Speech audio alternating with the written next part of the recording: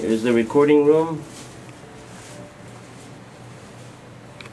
Yeah, this is where we do our uh, engineering for mixing, mastering, and recording. Mm-hmm. And this is the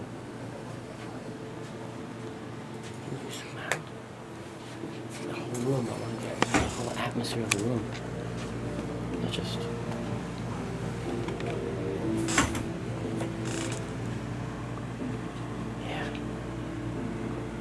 There's the live room.